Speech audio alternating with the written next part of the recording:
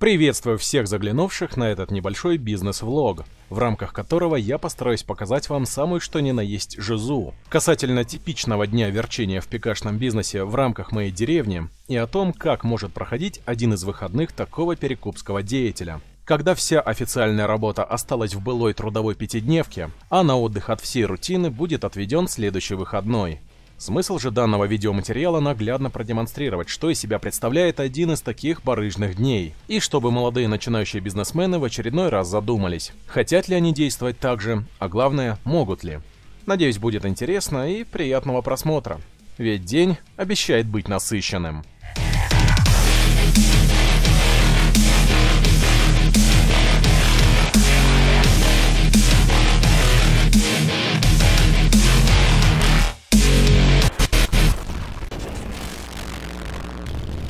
Приветствую всех заглянувших на это видео. Сейчас на часах ровно 6, и как видите, пока все кисы спят, бизнесмен уже полон сил и отправляется на свою выходную работу.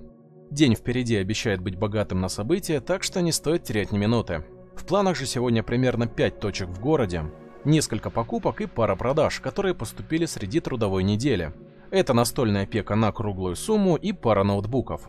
А на вопрос, как же заставить себя после тяжкой трудовой или учебной недели выйти на бизнес-поля вместо того, чтобы смотреть мультики, я отвечу. Вот это Накотян сама себе еды не купит. Поэтому стимул заработать сегодня однозначно имеется. Ну что ж, ноги в руки и идем бизнесменить. Итак, локация, где нас по идее ждет первый успех, это одна из центральных улиц нашего города, где мы договорились о покупке ноутбука за 13 косых. Это i5 Proц, какая-то там 700 или 900 GeForce и 6 гигабайт DDR3. Само собой, цена неплохая, поэтому глубокой ночью мы успели договориться с клиентом раньше остальных перекупов. И теперь с самого раннего утра, как видите, по абсолютно безлюдным и безмашинным улицам, я иду этот девайс забирать. Пожалуй, именно из-за подобной самоотверженности наша дружная бизнес-комьюнити успевает забрать лучшие товары по дешевке раньше прочих перекупов которых лично я в нашем городе знаю аж три. Один барыжит всем подряд, другой исключительно ноутбуками, а последний вроде только китайской поеботой. Как понимаете, у него-то дела идут не самым лучшим образом. Мы же, благодаря своим транспортным трюкам и левым симкам, не палимся абсолютно нигде. Так что даже если составляем конкуренцию кому-то из этих барыг, знать они об этом стопудово не будут. И главное, это позволяет нам толкать им свои товары. А вот что они будут с ними делать, нас уже волнует не сильно. В конце концов, только на кэш от этих ущербных пек мы можем позволить себе именно те ноутбуки, за которым я сейчас и иду. Итак, сейчас перед вами наша первая трата. Коллега, откройте, пожалуйста. Как видите, весьма неплохой ноутбук. Пусть и немного пошатанный. Но, к счастью, пользовать его будем не мы.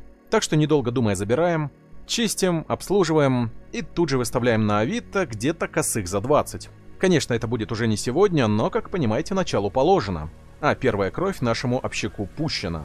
Так что теперь отправляемся на следующую точку, где уже надеемся чуток подзаработать. Знаете, помимо компьютерной тематики, мне частенько приходят вопросы социально-экономического характера. В стиле, насколько вообще опасно продавать гретые видеокарты или такие же ноутбуки, если речь идет о каких-то несчастных клиентов со вторички, которые об этом, естественно, не знают.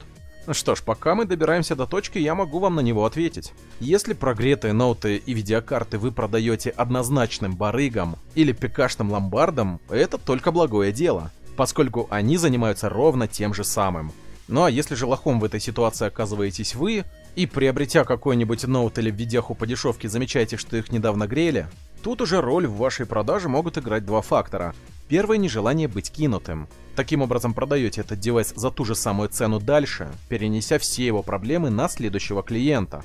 Ну и второе, если вы считаете себя дофига честным и ремонтировать девайс не собираетесь, просто выставляете его под объявлением на запчасти, где указываете все поломки, при этом естественно сильно теряя в цене и по факту все-таки лохом оказываясь.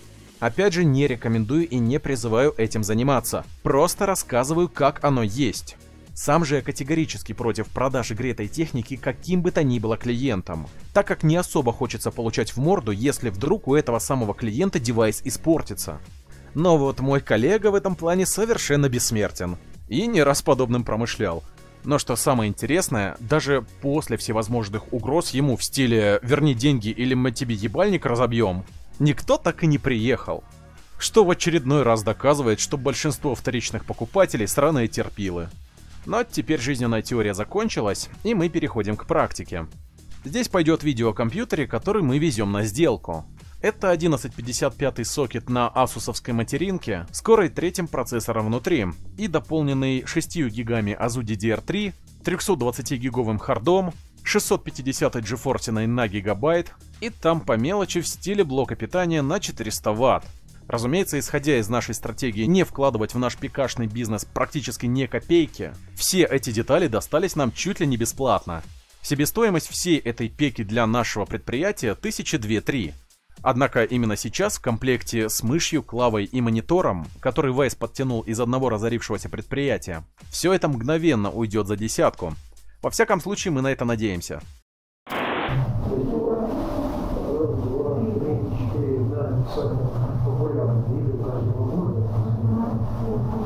Стрелочка, с мечом, попугай,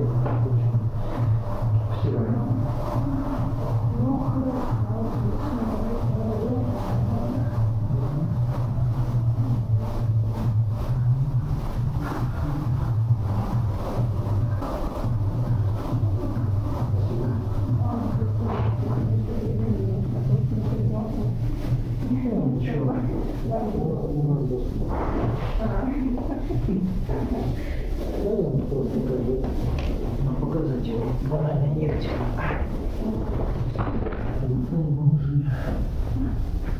Да, и теперь вы понимаете, насколько многословно проходят наши сделки. Что же могла тащить оставленная там пекарня? Ну, это четвертый Фоллич, Doom 16, пятая GTA и третий Ведьмак. Но, разумеется, в рамках продажи была использована только GTA 5, которая, кстати, непомерно долго у клиента грузилась. Такая вот дешевенькая для нас, но очень дорогая для клиента пекарня. С бесплатными для нас расходниками, которые мы обычно получаем, притворяя сервисом по утилизации оргтехники. Все постоянные зрители наверняка знают, каким образом ищутся подобные места, где можно практически бесплатно подтянуть любую оргтехнику. Если же вы здесь новичок, то знайте, что способов много, но самый верный из них это написать на Авито объявление в стиле «Утилизируем оргтехнику за свой счет». После чего смело можно рассчитывать на звонки от каких-нибудь ЭПшек, которые не хотят заморачиваться с бумажками для списывания своих девайсов. Но зато таким образом наша производственная база наполнилась какими-то принтерами, кучей клавомышей и, само собой, мониторов. Но это так, к сведению. Сейчас у нас очередная продажа. На часах 12.03 и следующая сделка представляет из себя продажу телевизора за 700 рублей.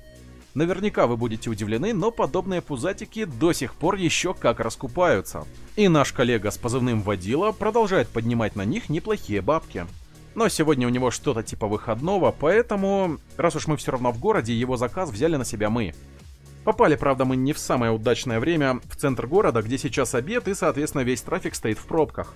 Похоже, весь кэш от продажи этого телека уйдет на возмещение бензака, который мы здесь проебем.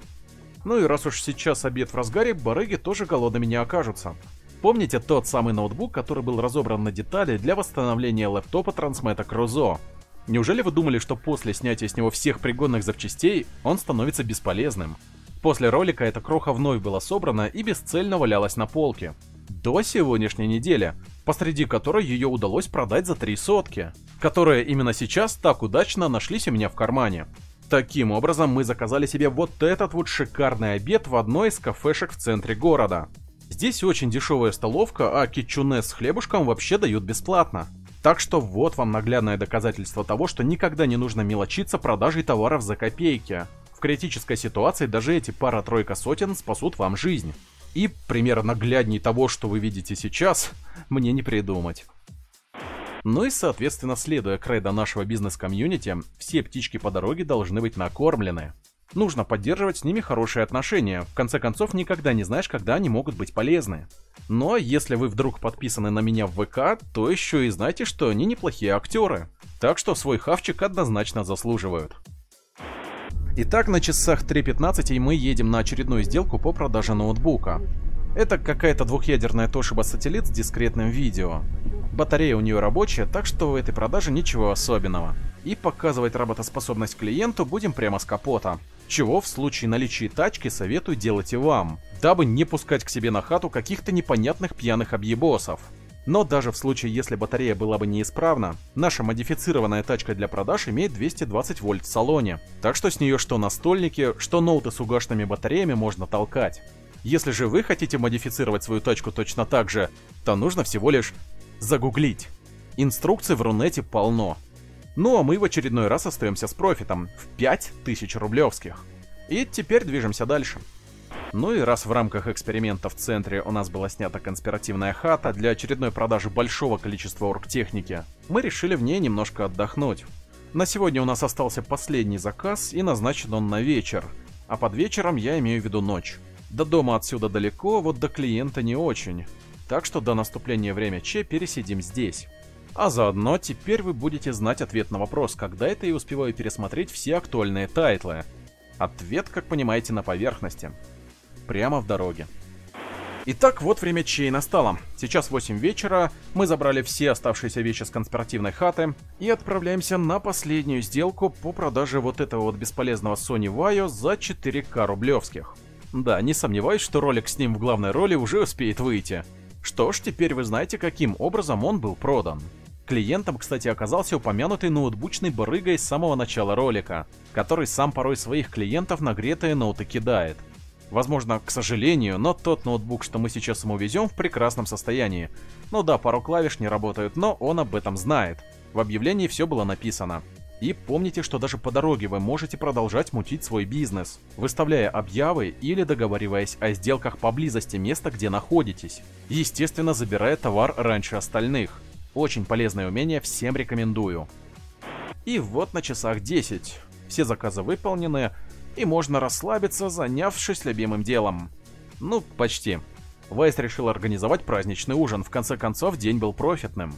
Так что, пожалуй, именно на этих кадрах и подведем итог нашего сегодняшнего мероприятия.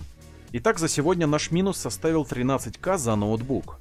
Мы получили плюс 10 косых за установленный комплект, 700 рубасов за телевизор, 5000 за Тошибу и 4 косых за ушатанный Sony Vaio.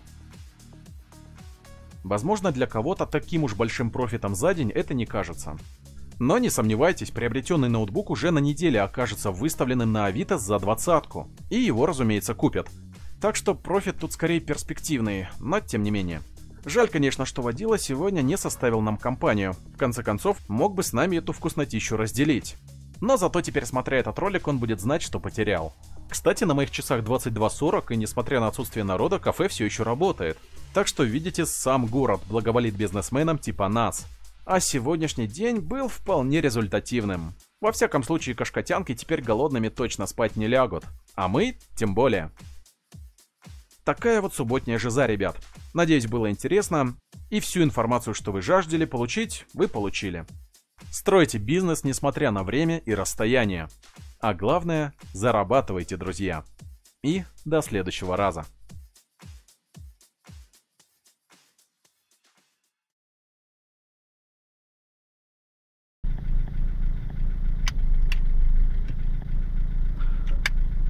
Ну так вот, говорит, типа, я в школе сильно срать захотел, и э, в итоге я, короче... Насрал.